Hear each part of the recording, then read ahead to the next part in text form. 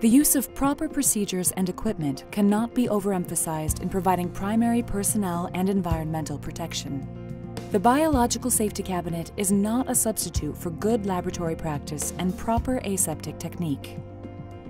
Aerosols can escape with poor laboratory procedure and technique.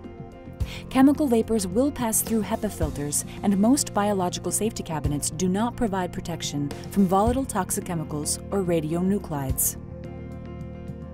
Note, when working with harmful aerosols or vapors, it is required to use a Class II Type B2 biological safety cabinet that exhausts all air through the facility's house exhaust system. Proper use begins with the proper location and installation of your biological safety cabinet. It was developed as a workstation to provide personnel, product, and environmental protection during the manipulation of infectious microorganisms and hazardous aerosols. In order to accomplish this task, location considerations must be met to ensure maximum effectiveness.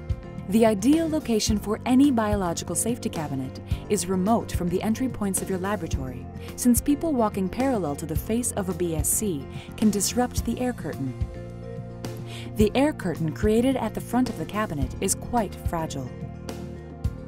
Open windows, air supply registers, or laboratory equipment that creates air movement, such as centrifuges and vacuum pumps, should not be located near the biological safety cabinet. Similarly, chemical fume hoods must not be located close to a biological safety cabinet.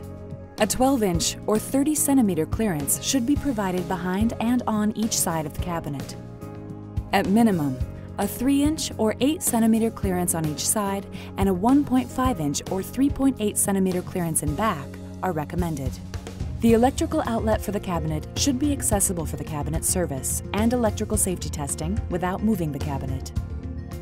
When the cabinet is connected by a canopy or thimble transition to the ventilation system, adequate space must be provided so that the configuration of the ductwork will not interfere with airflow.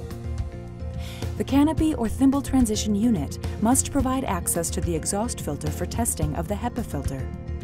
Also, biological safety cabinets should not be installed as an integral part of a room's supply and exhaust system. System fluctuations of the room's supply and exhaust air will cause the biological safety cabinet to operate incorrectly. The exception to this would be the Class 2 Type A2 with a canopy connection for room exhaust, since the canopy's air gap will allow for exhaust system fluctuations without affecting containment performance. Biological safety cabinets that are hard connected, Class 2 Type B1 and B2, should not be used as the sole source of room exhaust. A supplemental room exhaust should be present to aid in room air balance. Class 2 Type B2 biological safety cabinets that are hard connected to supply air should be equipped with an interlocked damper to prevent the work zone from being positively pressurized. To review, cabinets should be located away from doors, away from windows that can be opened, away from room supply air, and away from heavily traveled laboratory areas. If you have additional questions about the location or installation of your cabinet, please refer to your operation and maintenance manual or visit the NuAire website at nuaire.com.